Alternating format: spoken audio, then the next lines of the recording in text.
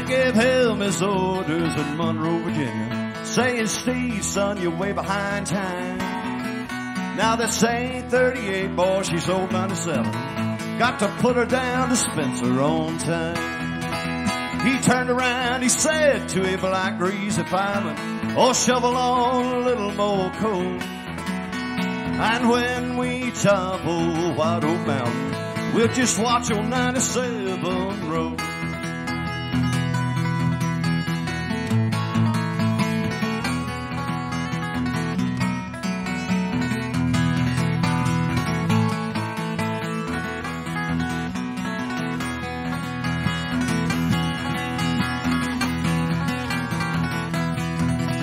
He headed down that grade is running 90 miles an hour.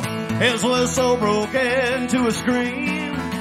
He was found in the rig with his hand on the throttle, just scalded to death by the steam.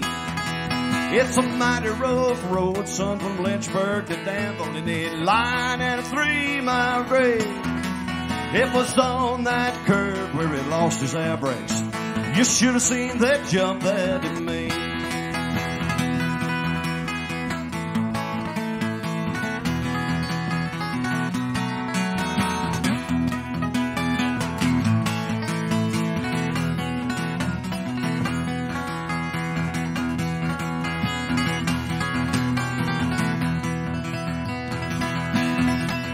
Now all of you ladies, you must take warning from this time on and learn. Never speak harsh words for your true love or husband. He'll leave you and live a return.